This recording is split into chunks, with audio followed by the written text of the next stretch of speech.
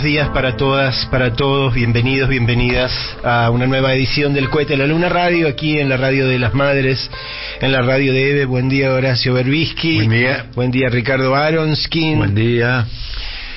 Anoche, digo, yo no, lo vi, digo, este no, mi médico me lo prohíbe, eh, eh, pero, pero bueno, veía por ahí que, que incluso mencionó a Nietzsche, este, el presidente Milady, eh, creo que incluso discutiblemente. Nietzsche fue el de la famosa frase de lo que no nos mata nos fortalece, ¿no? Sí. Bueno, este, viene muy fortaleciéndose mucho últimamente el gobierno muy, muy fortalecido.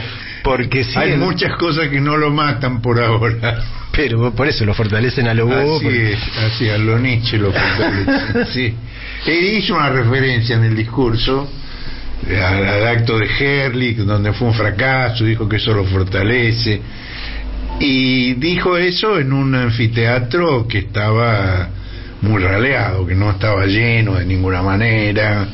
Eh, por supuesto, él armó una entrada triunfal eh, rodeado de mucha gente, parecía una multitud enorme que apenas le permitía avanzar, pero digamos, ese lugar tiene un espacio para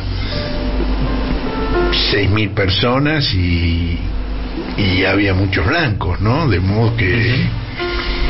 Y además eh, los, los ómnibus eh, llegaron semi vacíos, con menos gente de la que podrían haber traído, ¿no? Pero bueno, ya vamos a hablar de eso. Este, este tema de las imágenes también fue notable en la presentación del presidente en Naciones Unidas, en el emblemático recinto donde se reúne la Asamblea General, y las imágenes ahí son contundentes porque, bueno, viste que los oradores hablan con un hermoso panel de mármol verde a sus espaldas, mientras dos enormes pantallas a ambos lados amplifican su imagen para que ni sus menores gestos se pierdan en la inmensidad del salón. Eh, el salón lucía colmado cuando tomó la palabra Lula, el presidente de Brasil, quien adhirió con firmeza al denominado Pacto para el Futuro. Y cuando llegó el turno del presidente argentino Javier Milei, Milei expuso las razones porque las que la Argentina se distanciaba de esa agenda y abandonaba la tradicional neutralidad que el país mantuvo desde fines del siglo XIX, lo cual es una decisión trascendental, gravísima. Gravísima. Digo, la Argentina ha mantenido esa tradición de neutralidad con todo tipo de gobierno. Eso comenzó a fines del siglo XIX con la primera conferencia panamericana, la doctrina Drago, la doctrina Calvo, eh, Irigoyen en la Primera Guerra Mundial, eh, los distintos gobiernos de la década del 30 y los 40 en la Segunda Guerra Mundial, e incluso la dictadura de Videla, que digamos no adhirió al, bloqueo contra la Unión Soviética impulsado por Estados Unidos a raíz de la invasión de Afganistán. Digamos, eh, esa política de neutralidad ha sido, bueno, Milei anunció que la que la abandonaba la Argentina y por supuesto no lo fundamentó. Este, porque no sabría fundamentarlo. Bueno, eh, la, lucha por la libertad. Por eso no sabría fundamentarlo, eso es una generalidad que no quiere decir nada.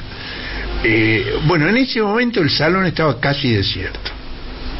Los discursos del lunes de Milley fueron antagónicos y la repercusión en la asamblea también. Están las fotos que lo muestran.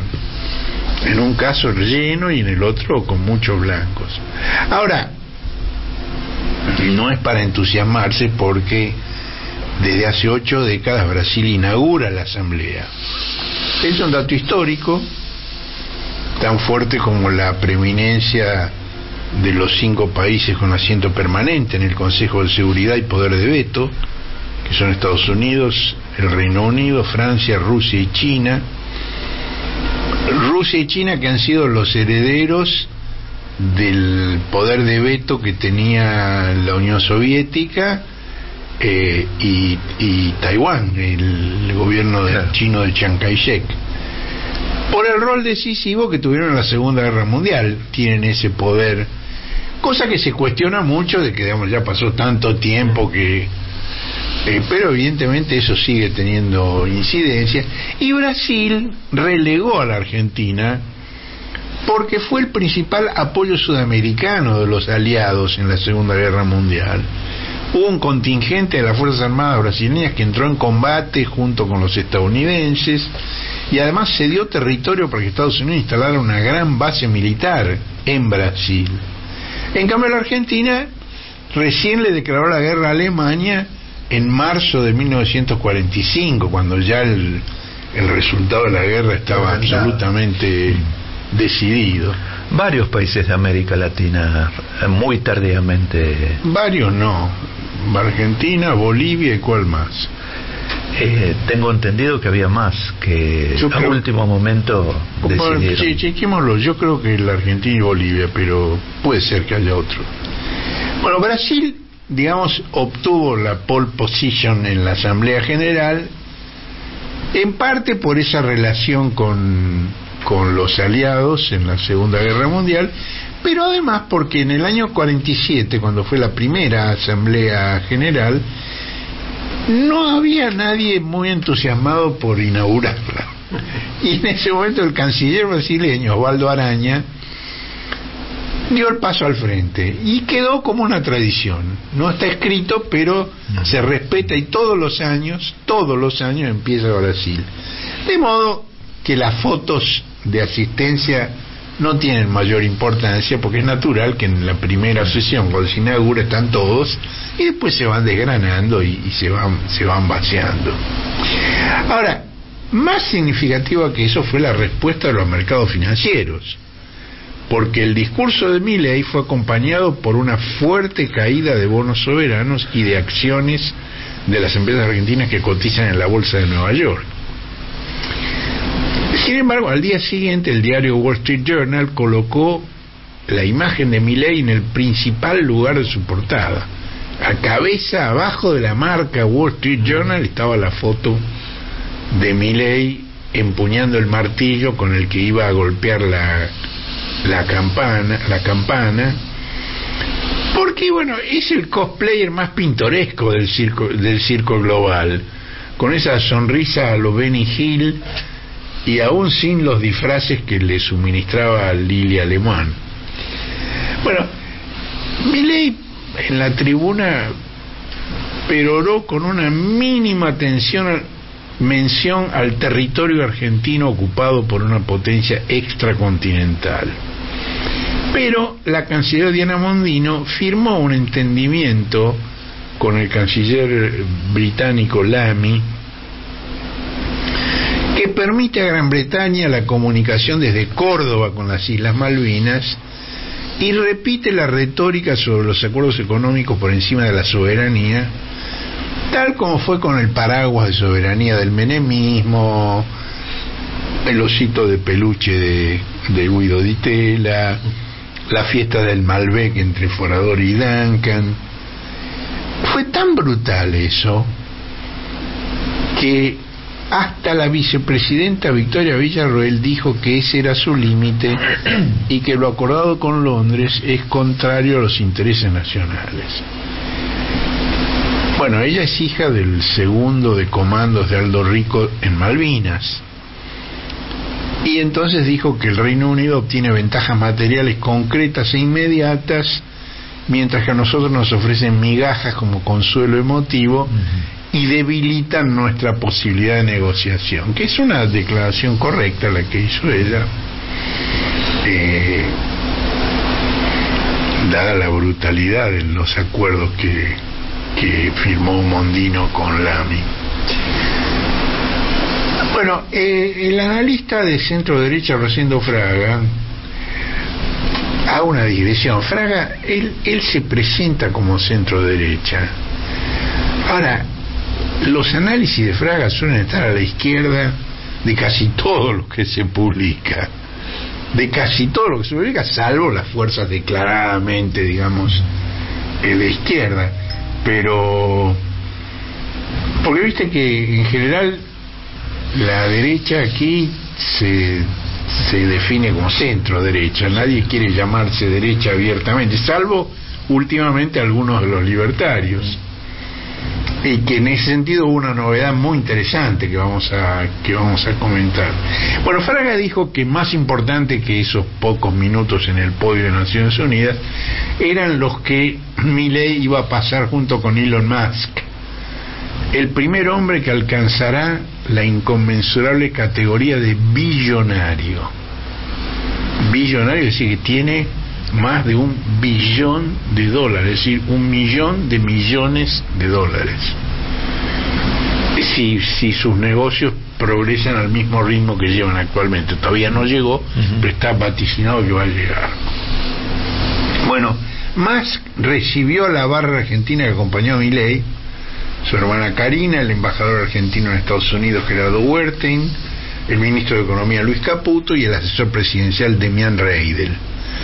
Todos levantaron los pulgares y Musk, no menos entusiasta y agresivo que Milley, dijo que sus empresas estaban estudiando qué inversiones podrían realizar en la Argentina. Es decir, por ahora, bellas palabras. Están estudiando. La foto es notable porque es Pulgarcito y sus amigos. Están más que en el centro y al lado Miley y los demás que mencioné, todos levantando los pulgares. La realidad no les devuelve esa sonrisa, porque Milei volvió a ser corregido por funcionarios de su propio gobierno, como ya había ocurrido días atrás con el ajuste de 60 mil millones de dólares que tenían que hacer las provincias y que Caputo y Esper dijeron que eran 20 mil, no 60 mil. Que 60 mil era el total del gasto. Y, este lo largó así, lo larga, como larga todo, ¿no? Bueno, en Wall Street, después de tocar la campana, Milley había dicho que iba a suprimir la administración de las divisas, esto que se llama equívocamente cepo, cuando la inflación se redujera a cero. Ahora, fue tan confusa la explicación que hizo que un centenar de inversores y de banqueros reunidos por el banco JP Morgan le reclamó precisiones a Caputo, que los había convocado para pedir las inversiones que no llegan. Y Caputo contestó que no, cero no, basta con una reducción al 2,5% mensual. Ahora, entre 0 y 2,5 hay una diferencia infinita. Ahora, esto es muy interesante porque ni el presidente con el 0 ni Caputo con el 2,5 explicaron cuál es la relación entre el, entre el índice de precio al consumidor y el cepo. Y esta omisión, esta falta de explicación, roza un tabú. Y el problema es la disponibilidad de dólares y su relación con el índice de precios que mide el INDEC dentro de la economía bimonetaria que ha popularizado en sus intervenciones públicas más recientes la expresidenta Cristina Fernández. ley niega una y otra vez que exista algún conducto que vincule la cotización de la divisa y el nivel de precios. Dice, no tiene nada que ver. Pero en la práctica, su gobierno lo tiene muy presente. Y la cotización del dólar es uno de los precios regulados en nombre de la libertad. Igual que las negociaciones paritarias, igual que las tarifas de los servicios públicos. Una economía que está regulada y que lo niega. Un discurso que niega su práctica. Ahora, esta contradicción entre hechos y palabras no evita que el principal tema de preocupación de los interlocutores internacionales de Milley sea y de Caputo sea la acumulación de reservas y el pago de las deudas. Deudas con inversores privados y con organismos internacionales de crédito como el Fondo Monetario Internacional. Al presentar el presupuesto, Milley enunció un principio Y es que antes de contemplarse cualquier gasto, deben reservarse los fondos para el pago de la deuda. Esto, por supuesto, a los acreedores les complace, porque significa darle prioridad al pago de la deuda respecto de cualquier otra cosa. Pero no les parece suficiente, porque tienen una idea más realista de que de la resistencia del material humano a las condiciones extremas a las que está sometido. Lo, lo dijo también uno de los más importantes eh, diarios internacionales de negocios al comentar los índices de pobreza. Se preguntó cuánto tiempo va a aguantar la sociedad y asoció eso correctamente con la caída en todos los índices de aceptación del gobierno, de los cuales vamos a hablar a continuación. Dicho sea de paso, en el acto de ayer, mi ley dice, Dijo, sí. hicimos un ajuste tremendo y miren cómo nos vienen a aplaudir y a felicitar. y vivaron a Toto Caputo. Qué bárbaro, qué bárbaro. Bueno, déjalo que siga por ese camino, se va a estrellar alegremente, con una sonrisa. Bueno, esa preocupación de los acreedores fue confirmada por un decreto de necesidad y urgencia del 20 de septiembre, que tiene el número 846, que modifica el artículo 65 de la Ley de Administración Financiera. Ese artículo condiciona las operaciones de crédito público para reestructurar la deuda pública al mejoramiento de los montos, plazos y o intereses de las operaciones originales. Macri intentó es, es una es una ley que se sancionó luego de la crisis del 2000 2002 eh, y del ruinoso megacanje para prevenir que no se repitiera una situación similar en la cual se aumentó la deuda externa argentina en cuántos 60, 40 mil millones de dólares En ese momento. en ese sí. momento Sí, sí.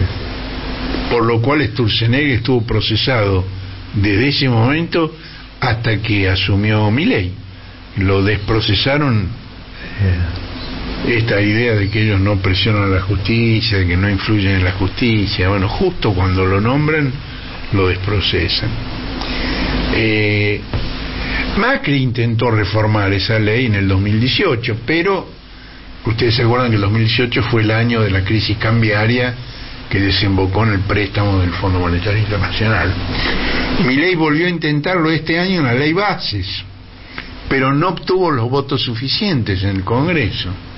Y entonces insiste de este modo, por un decreto, en una reforma que integraba un proyecto de ley que no fue aprobado por el Congreso. Esto es una forma de desvirtuar el sentido constitucional y legal de los decretos de necesidad y urgencia, que son decretos que el Poder Ejecutivo puede aprobar sin intervención del Congreso.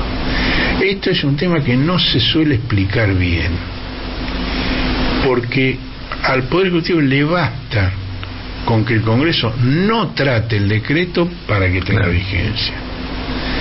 E incluso mantiene vigencia si una de las dos cámaras lo rechaza. Bueno, eso es lo que se llama la sanción ficta, que la propia Constitución prohíbe. Ficta, bueno, quiere decir implícita, ¿no? mm. Bueno, en, en temas como la reestructuración de la deuda pública, el decreto generaría derechos inconmovibles una vez que se hubiera aplicado, aunque después lo derogaran diputados y senadores. Esa es otra de las características que tiene. Es decir, las relaciones jurídicas que se establezcan por un decreto del Poder Ejecutivo no se retrogradan si después el Congreso lo deroga. Claro. O sea, el daño está hecho. El daño está hecho.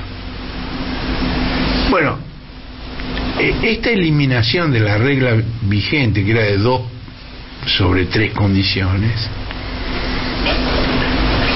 hace que el canje de deuda, bueno, además incluye el canje de deuda en pesos por deuda en dólares. Es decir, se puede convertir Vos debés pesos y lo convertís en deuda en dólares, lo cual es ruinoso. Ruinoso. Y además elude el control del Congreso. ¿Esto qué quiere decir? Que las condiciones de una reestructuración no las va a poner el deudor, sino el acreedor. Igual que en el megacanje de 2001. Bueno, por más que Caputo insistiera en el JP Morgan de que el país va a pagar los vencimientos de enero y de julio del 25, eh, la sombra de una nueva reestructuración asoma en el horizonte de los acreedores, que dadas estas modificaciones por decreto, no se inquietan demasiado porque se preparan para obtener las mejores condiciones como lo, como lo permitiría este decreto que mencionamos. Bueno, además, antes de enero, que es el primer vencimiento de estos vencimientos, faltan las revisiones del acuerdo con el Fondo Monetario de junio y septiembre de este año, cuyo cumplimiento es improbable, pese al blanqueo que el gobierno, el gobierno prorrogó por un mes más el blanqueo, ahora hasta el último día de octubre. Ahí hay versiones distintas, hay quienes atribuyen esa prórroga al escaso flujo de fondos, pero también existen quienes afirman lo contrario, que los 7.100 millones de dólares ya registrados rondarían el 90% del efectivo que obtuvo Macri en su mejor momento. No sé, no, expongo las dos versiones porque no, no sé cuál es la correcta. Eh, en parte que hayan fluido estos 7 mil millones tiene que ver con que se puedan retirar rápidamente. Claro, los depositas, los registrás y después al mes los podés sacar, ¿no? Eh, en realidad se pueden salir- sacar desde el primer día posterior a que termina el, El blanqueo. el blanqueo. Claro, lo declarás ahora Los de y- menos de 100 mil, ¿no? y De- el primero de noviembre lo retirás. los retiras. Bueno, este tipo de discusión es parecido al que enfrentó a Elon Musk con Lula. Hay, una cosa irónica, ¿no? Porque Milei en la Asamblea General hizo una reivindicación enérgica de la soberanía de los Estados-Nación, porque dijo que las Naciones Unidas adoptó un programa de gobierno supranacional que llamó socialista, que pretende resolver los problemas de la modernidad con soluciones que atentan contra la soberanía de los Estados-Nación. Ahora, mientras Milei cacareaba sobre la soberanía de los Estados-Nación, Brasil ejercía el poder soberano que el presidente argentino solo invoca, y lo ejercía en oposición al gobierno supranacional de las grandes corporaciones con el que Milei se identifica. Claro. Es una ironía notable. Es decir, ¿qué es lo que pasó en Brasil? El Tribunal Supremo Federal de Justicia de Brasil suspendió la autorización para el funcionamiento de Twitter X porque la empresa de Musk se negaba a designar un representante que asumiera la responsabilidad legal ante el Estado Nacional brasileño.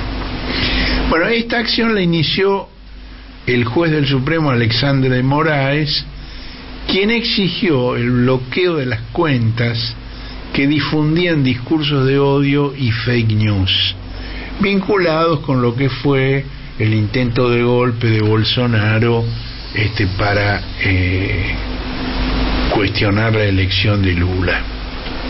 Ahora, Musk se negó a bloquear esas cuentas, se negó a designar un representante legal y denunció que Brasil intentaba censurar la expresión. Entonces, de Moraes, si él no quería bloquear algunas cuentas, bloqueó toda la red. Le congeló los activos y también lo de Starlink, que es la otra gran empresa de más, La de los satélites. la de Los satélites. Claro, porque la estaban usando para eludir el bloqueo de Twitter. Le metió una multa de más de 3 millones de dólares y le insistió en que tenía que designar un representante legal en el país. Bueno, el amigo de Milei se negó, intentó rebelarse, justamente usó Starlink para mantener el servicio a pesar del bloqueo, pero finalmente cedió. ¿Por qué? Porque otros competidores como Blue Sky y Tumblr es, es casi impronunciable, porque es como Tumblr, pero si le sacas la E. Es Tumblr. Sí, sí. El mundo hoy es así. Eh. Es difícil pronunciar. Es difícil pronunciar el mundo de hoy. Tuvieron un crecimiento vertical de usuarios por la migración de los bloqueados de Twitter. Bueno, Musk terminó por acatar la orden del Supremo y designó a la abogada Raquel Conceição como representante legal de Brasil. Y ahora de Moraes paladea el triunfo dilatando los trámites burocráticos necesarios para el levantamiento del bloqueo. Ya cumpliste, pero bueno, hay que hacer una serie de trámites. Eso es lo que tienen los Estados-Nación, ¿no? Sí.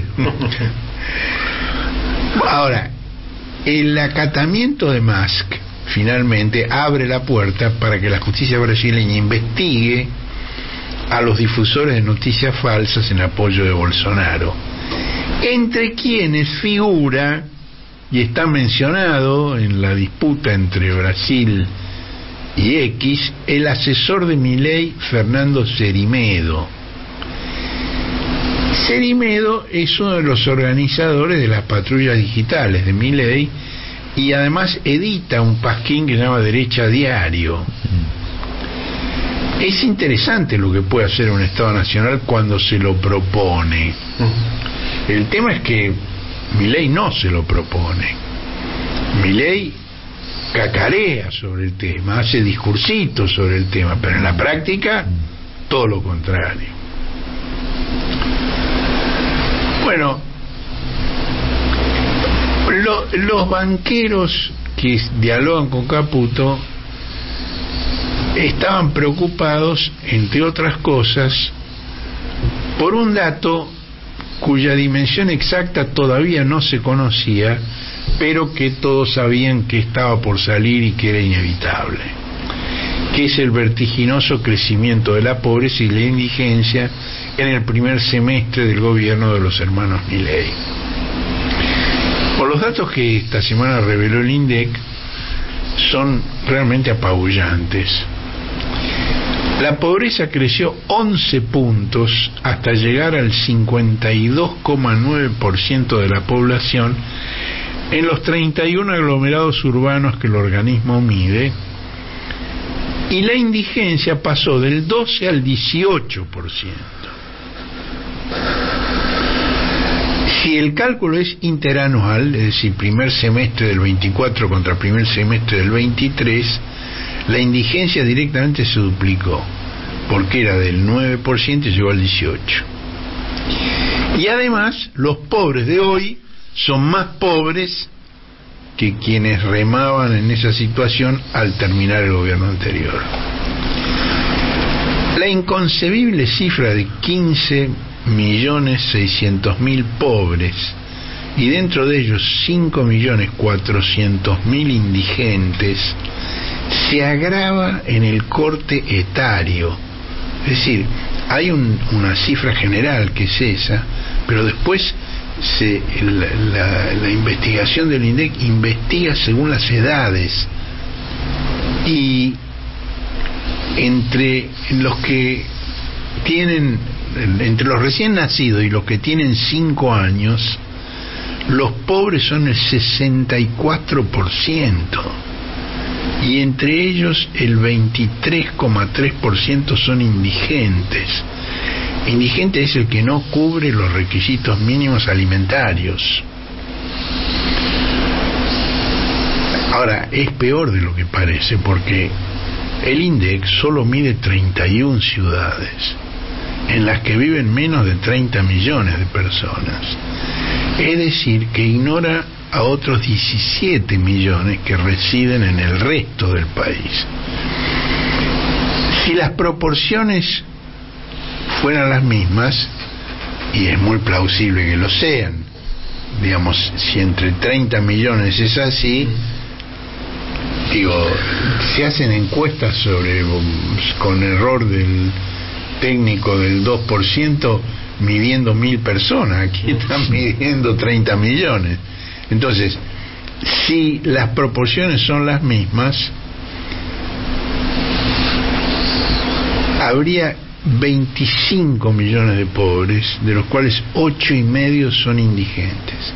Esto significa 5 millones más de pobres y 3 millones más de indigentes respecto a lo que dejó el gobierno del doctor Fernández.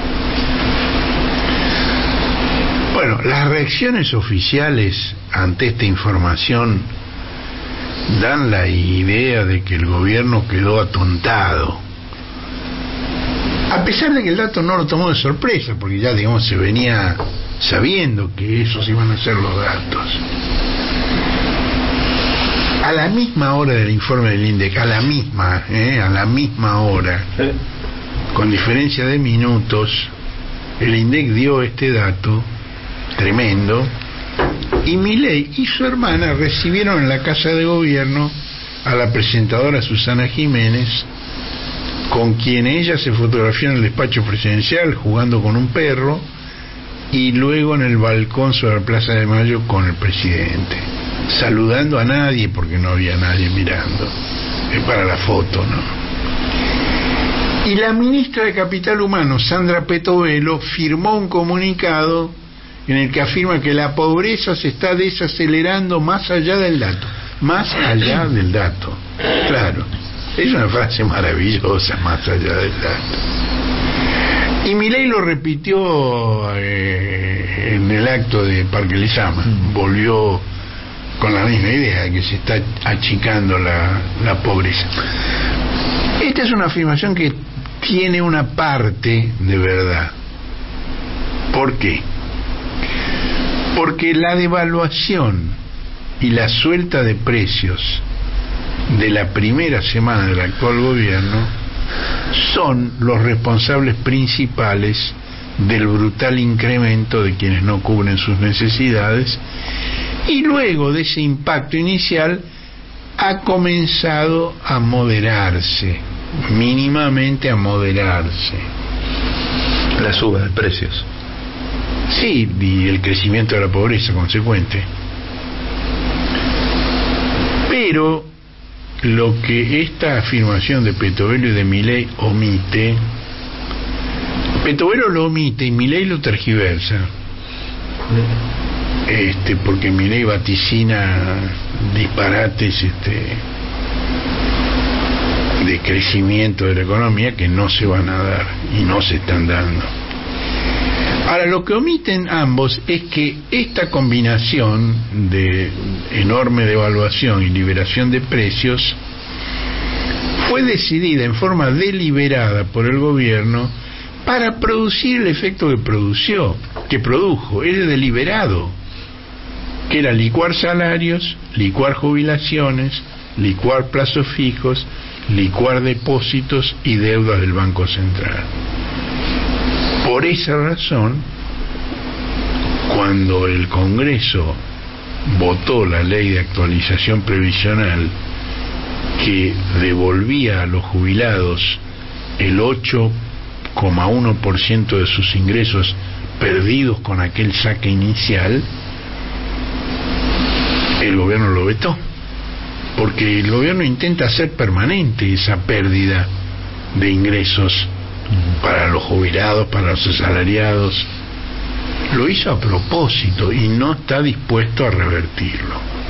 Hay que decir que el candidato Milei hizo todo lo posible para que estos desastres ocurrieran antes del cambio de gobierno. Es decir, todas sus declaraciones incendiarias, explosivas, que huele todo, que explote, tenían la función de tratar de que estos episodios desastrosos desde el punto de vista social ocurrieran todavía durante el gobierno del Frente de Todos, de forma tal de realmente decir es miren lo que he encontrado, pero no ocurrió y lo tuvo que hacer él. ocurrió parcialmente porque el Fondo Monetario obligó este, después de la elección paso a que el gobierno devaluara y ya hubo una devaluación Sí, en ese momento sí, sí. Pero el gobierno un salto de precios Tomó una serie de medidas paliativas para moderar, sí, claro. efectivamente. Ahora, algo similar ocurre con los fondos que el Estado le retaseó a los salarios de los docentes y los no docentes de las universidades nacionales y que también fueron devueltos por una decisión del Congreso. Es otra ley del Congreso en contra de la voluntad del gobierno que devuelve esos fondos confiscados. Pero una vez más el gobierno anuncia el veto total a esa ley y se ilusiona con volver a reunir el tercio de bloqueo, al menos en la Cámara de Diputados, para respaldar el veto. Ahora, la práctica aconseja no hacer vaticinios acerca de si lo conseguirá, y el paro de los docentes y la marcha federal anunciada para el miércoles próximo inquieta al gobierno porque acusó el impacto de la primera gran movilización del 10 y el 11 de abril. Y hubo una reunión del Consejo de Rectores de las Universidades Nacionales donde se hizo una referencia al tema. El motivo de esta reunión es porque hemos terminado el comité ejecutivo del Consejo de Rectores y eh, queremos anunciar a la sociedad argentina, a la comunidad universitaria, que el Consejo de Rectores va a acompañar y adherir a la marcha eh, del día 2 de octubre a las 17 horas a la Plaza de los Congresos. Marcha en defensa de la Universidad Pública Argentina, fruto del proceso que llevamos de un tortuoso 2024. Esta marcha va a ser en función de solicitar la promulgación de la ley de financiamiento universitario y como se nos ha dicho por las redes sociales, ojalá que esto no suceda, eh, si tenemos de aquí al 2 de octubre un veto del señor presidente de la Nación, esta marcha le va a solicitar a los diputados nacionales eh, que puedan acompañar la ley de financiamiento universitario. Entendemos desde el Consejo de Rectores que es momento de acompañar a nuestros trabajadores, docentes y no docentes, que tienen un retraso de 50 puntos contra la inflación. Estamos en una situación que no se daba en la universidad desde hace más de 20 años, que es la de tener trabajadores y trabajadoras por debajo de la línea de pobreza. Esta es una ley que no pone en riesgo el equilibrio fiscal. Por un lado, están destruyendo la excelencia académica de nuestras casas de estudio. Y al mismo tiempo, como mencionaba, que es la situación de, gran angustia que produce, se ataca el otro pilar fundamental de la Universidad Pública Argentina, que es su acceso irrestricto. Está aplastando las becas nacionales Progresar a un monto de 35 mil pesos, con una retención del 20% hasta que uno rinda las materias. Hoy no nos alcanza para cubrir el transporte para ir todos los días a la universidad. No alcanza para cubrir el transporte. Nunca nos ha tocado atravesar en la historia de la democracia una crisis semejante con un aparato que permanentemente desprestigia nuestra universidad. Está en la mano de toda la comunidad universitaria y de toda la sociedad argentina volver a darle un mensaje contundente al presidente de que la universidad pública argentina es un orgullo nacional y no vamos a permitir que la destruya. Muchas gracias. Si no hay universidades que formen a la gente joven, a, a los muchachos, las chicas, que lo investiguen. ¿Qué clase de país vamos a tener? Realmente para mí es la pregunta. Y lo repito, más que como rector, me hago esta pregunta como ciudadano, ¿no? Así que repito, son días muy, muy tristes. Gracias. Bueno, al gobierno también le preocupa la caída de todos los indicadores de aceptación del presidente y de su gobierno, que se ha registrado sin una sola excepción por todas las consultoras que escrutan el humor social. Eh, Milei se refirió al tema eh, anoche, mm, fue muy claro que está muy preocupado por el tema, por supuesto lo manifiesta en su estilo, que es decir, no me importa, está todo bien. Es como la sonrisa del boxeador que recibió un golpe en el hígado, ¿no? Y segundos después se cae con una mueca de dolor incontenible.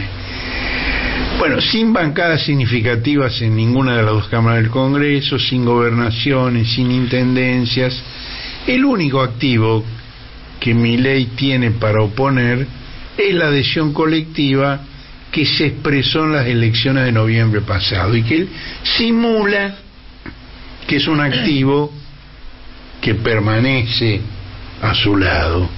Él simula que eso sigue siendo igual a 11 meses de la de la elección. Ahora,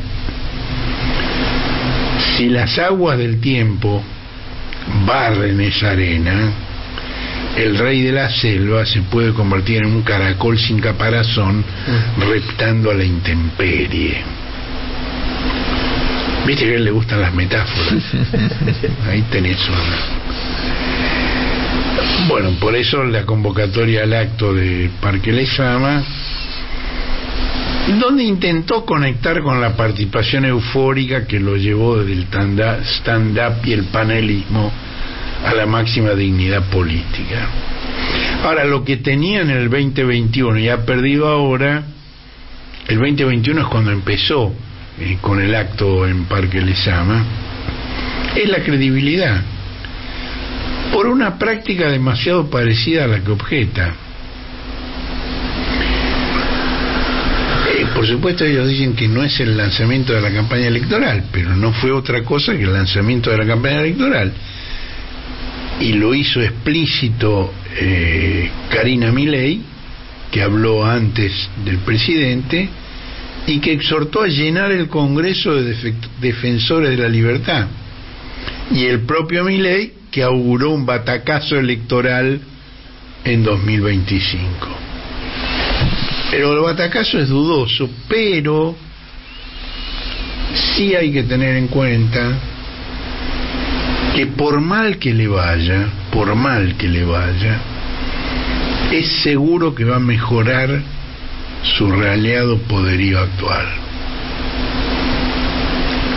Porque están parva la representación que obtuvo en diputados y en senadores, que no hay duda de que la van a mejorar. No sé en qué proporción, pero la van a mejorar, eso es indudable. Bueno, los discursos de mi ley son divertidos por lo extravagante.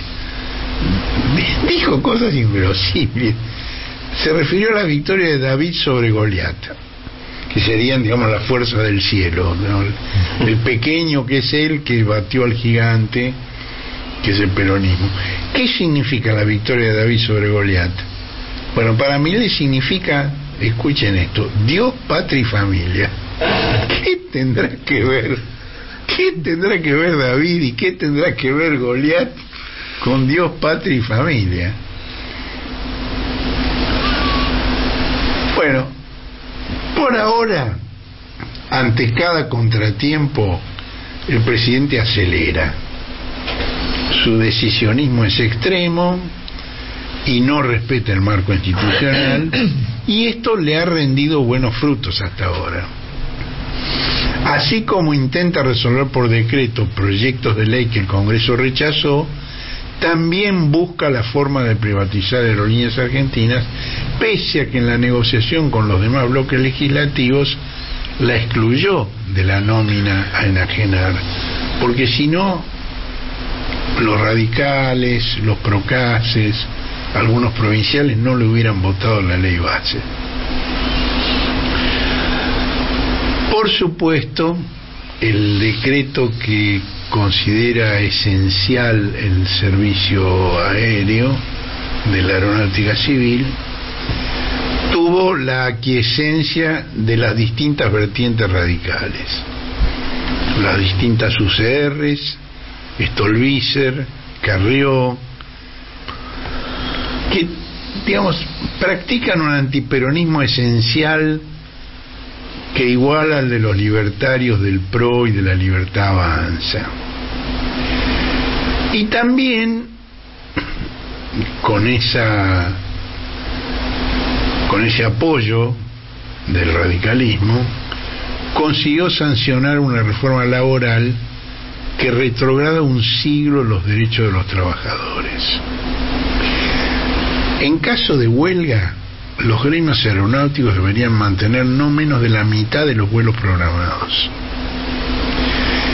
Hubo un reclamo salarial de los pilotos y el gobierno despidió a tres de ellos que se negaron a realizar un vuelo a Brasil para devolver aviones cuyo alquiler vencía.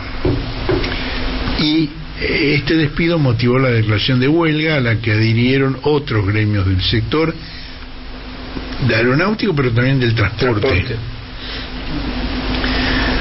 Bueno, el secretario general de los pilotos, Pablo Viró, hizo un comentario obvio, dijo que la situación era grave y que va a empeorar. Y entonces la ministra de Seguridad, Patio Bullrich, lo denunció por incitación a la violencia. Ahora, el fiscal Franco Picardi dictaminó que Viró solo había ejercido su derecho a la libertad de expresión y que no había delito en sus palabras, por lo que decidió no promover la acción. Y el juez laboral Ricardo Yerrezuelo dispuso la suspensión por tres meses de los efectos de la esencialidad hasta la sentencia definitiva. Era una medida cautelar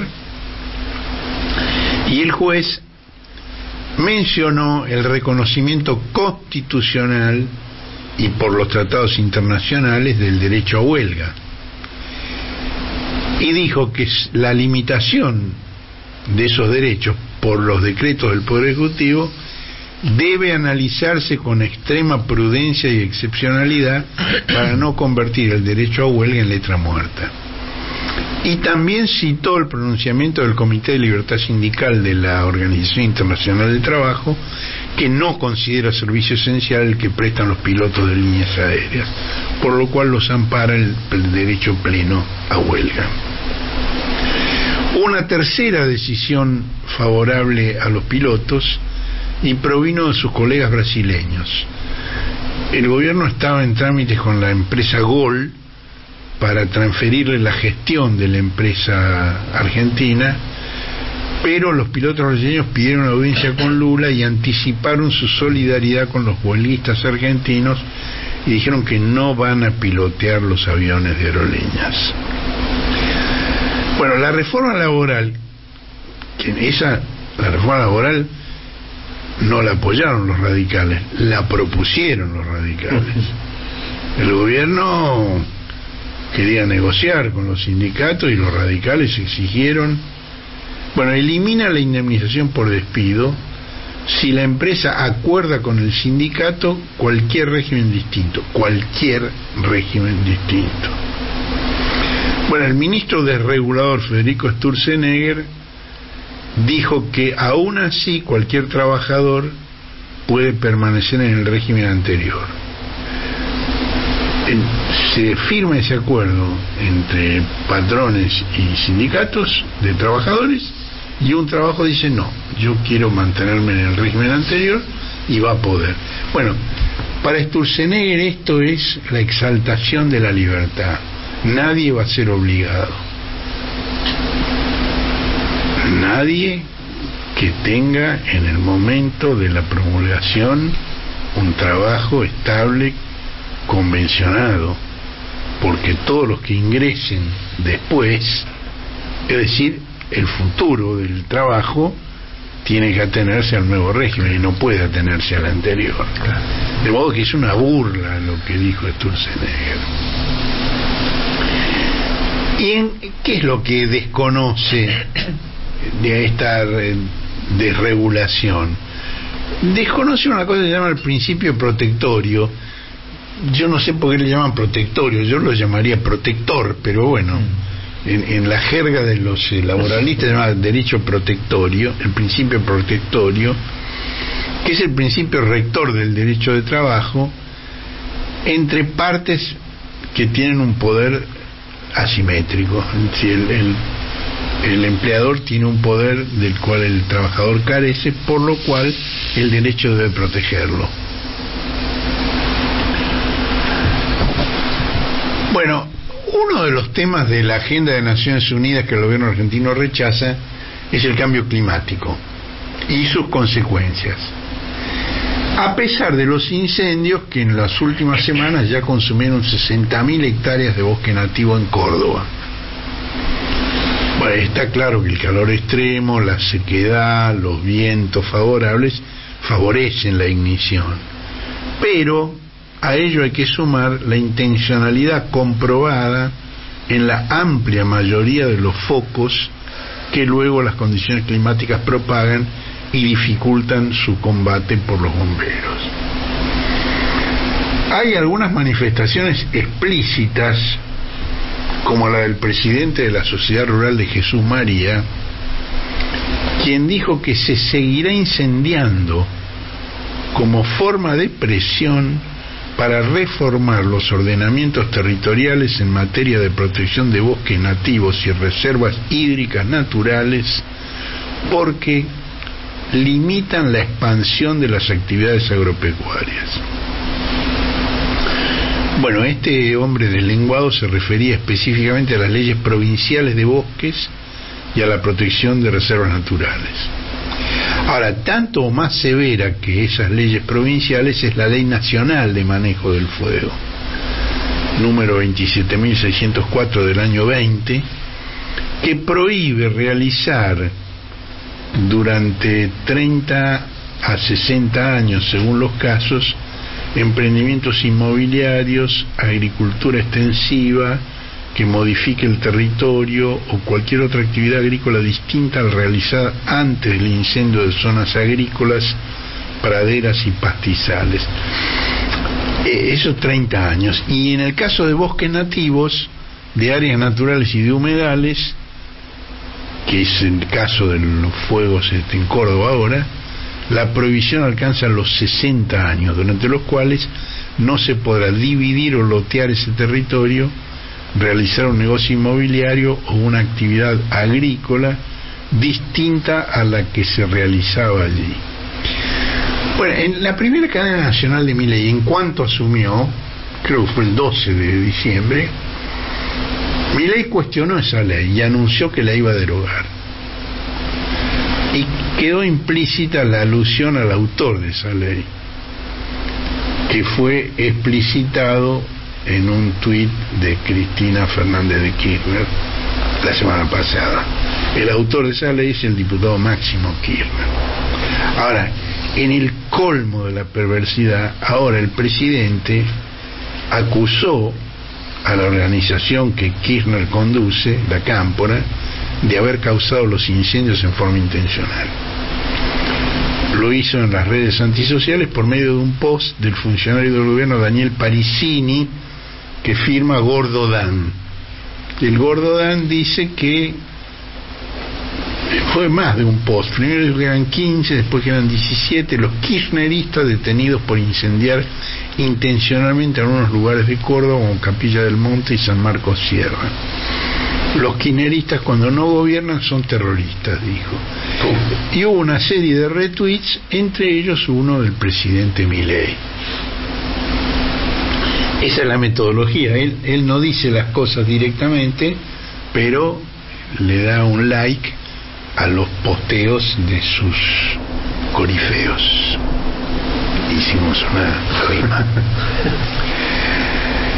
Eh, y esos tweets que siguieron al del Gorodán atribuían los incendios a la derrota electoral de Unión por la Patria frente a la Libertad Avanza. No era para quemar todo, decía una de esas publicaciones falaces. Ahora, el fiscal a cargo e incluso el entorno del gobernador Martín Yarlora, entre ellos el ministro de Seguridad de Córdoba, lo desmintieron. Insospechados de todo el kirchnerismo. Digo. Totalmente. Dijeron que no hay 17 detenidos y no tiene filiación política quien fue sorprendido con un bidón de combustible en Capilla del Monte. Y tanto el gobernador Yayora como su ministra de Ambiente, Victoria Flores, dijeron que las leyes provinciales declaran los bosques nativos zona roja y amarilla, donde no se permiten edificaciones. Bueno, los ambientalistas cuestionan la escasa claridad de la delimitación legal y la existencia de excepciones. Ahora, la declaración del presidente de la Sociedad Rural de Jesús María indica que esas leyes molestan a los emprendedores donde se me da la gana.